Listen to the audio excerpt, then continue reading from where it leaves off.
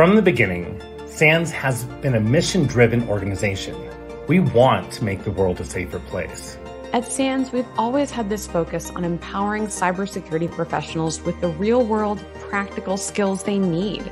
Our courses, certifications, cyber ranges, college, scholarship programs, community resources, they all maintain the highest standards in the cybersecurity training and certification community. And as a teacher, as a mentor, it's so rewarding to have that role in making it happen. You'll get more value from a SANS class than any other training course easily.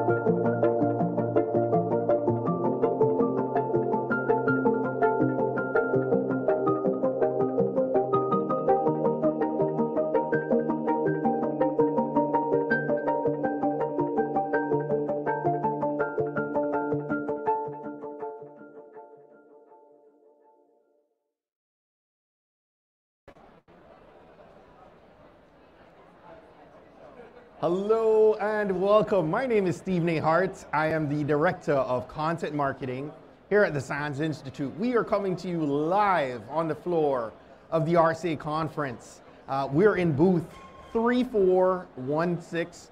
If you're attending the conference, we invite you to come on over and say hello. Uh, we'd love to meet you and learn more about what brings you to RSA and what you're enjoying from this year's conference.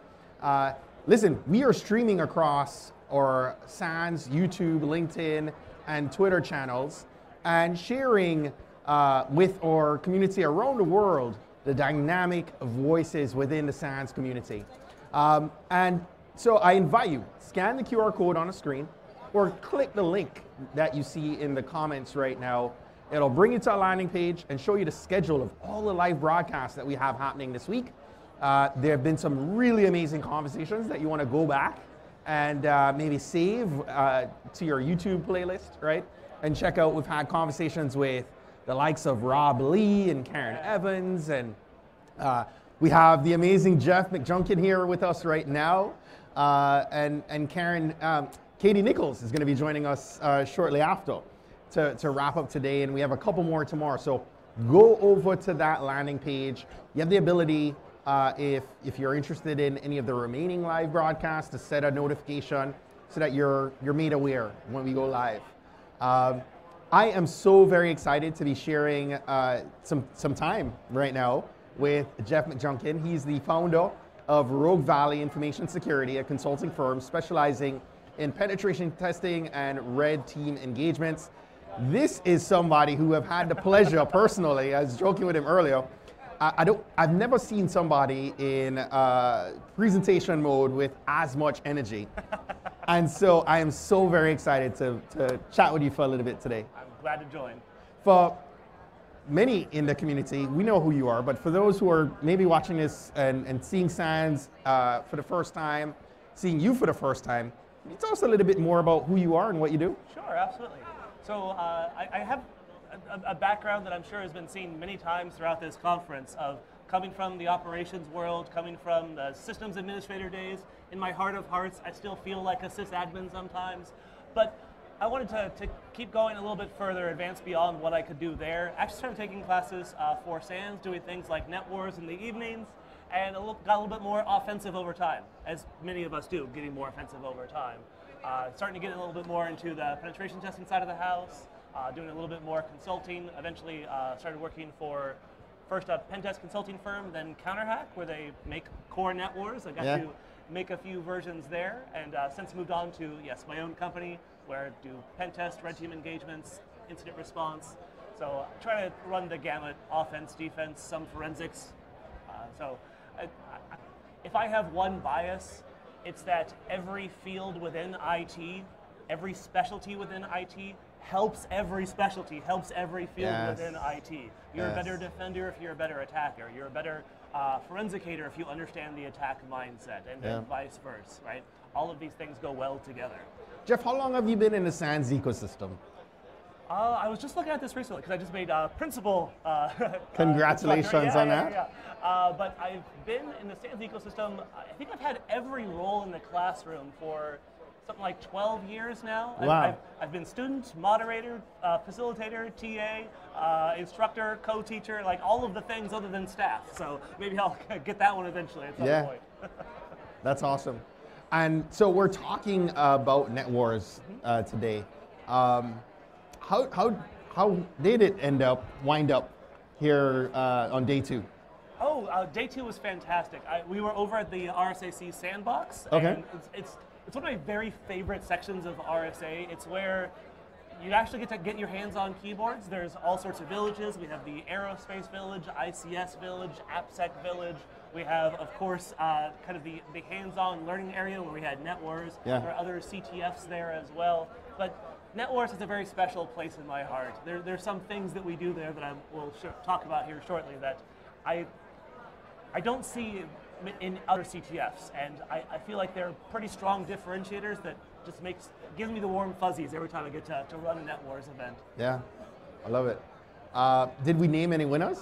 I did, yes. So uh, we had a, a few dozen people playing and really enjoyed. Uh, we had challenge coins for the, the top five. We'll have invitations to the SANS Tournament of Champions. Ah, nice. Happening in, in DC. In December. Yeah, yeah, yeah. So that's in uh, SANS CDI. Right. But gosh, that room, that room is just amazing every year. Yes. I, I, I think out of all the tournament champions, I've missed one out of like the seven that have happened. I've been in CDI so often, but yeah, there, has been a thing happening for a bit. I missed one.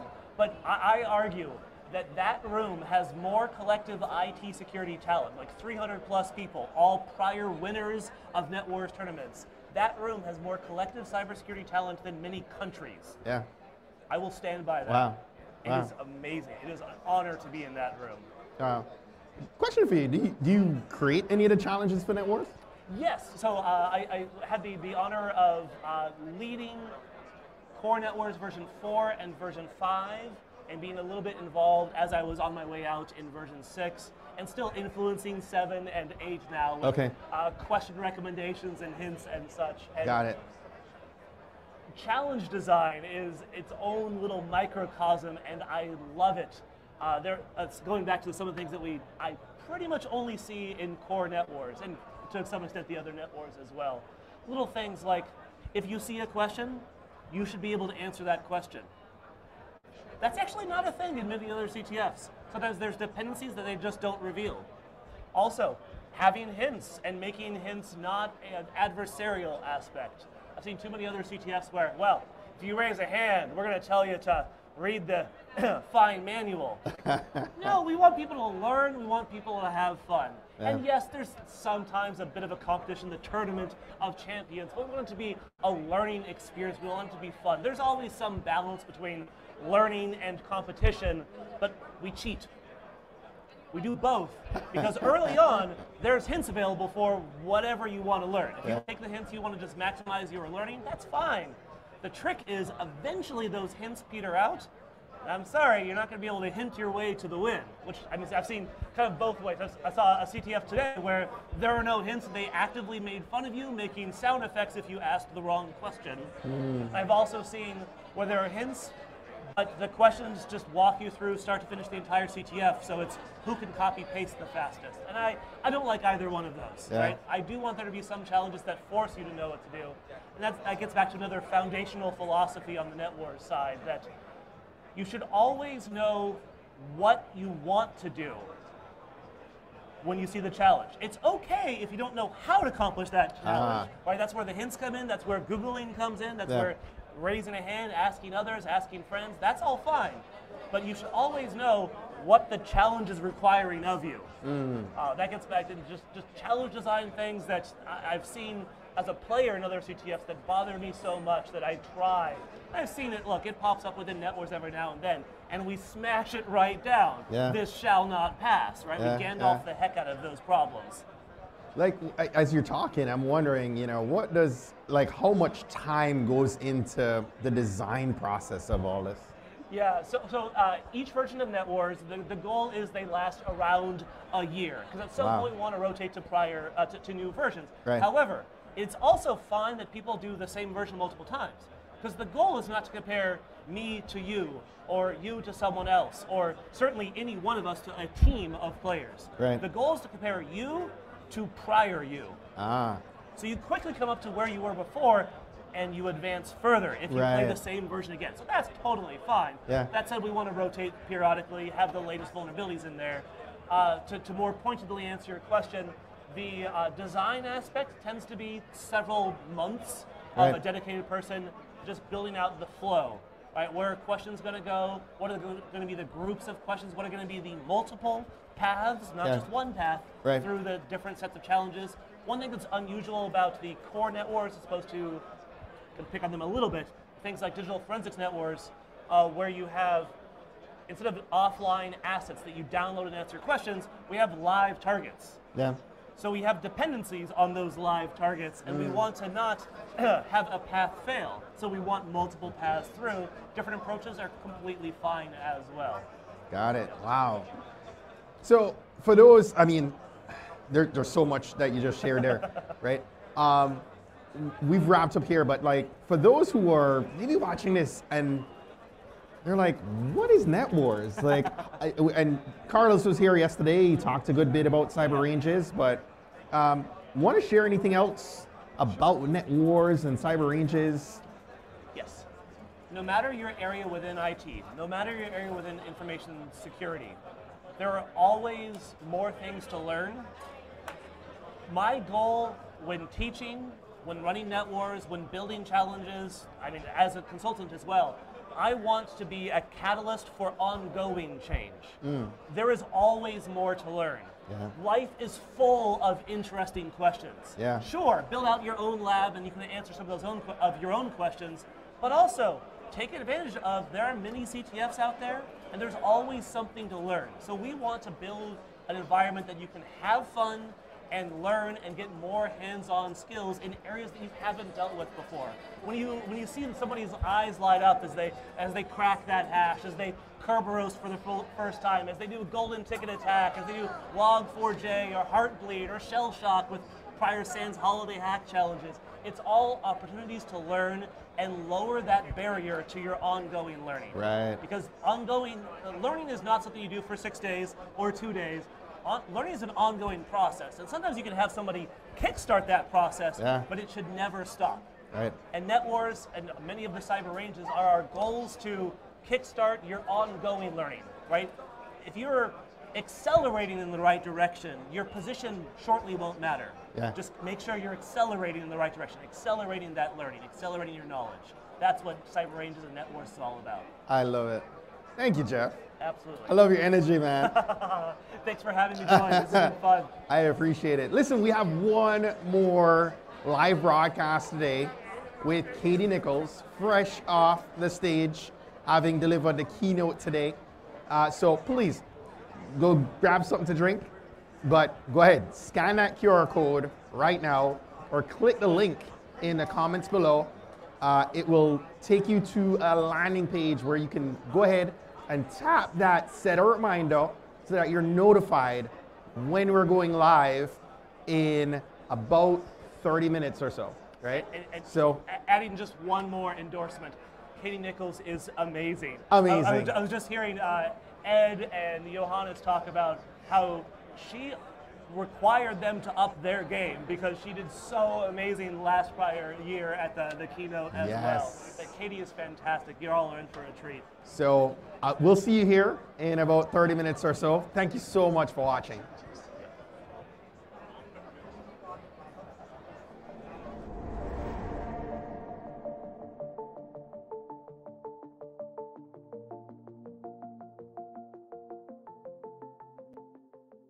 From the beginning, SANS has been a mission driven organization.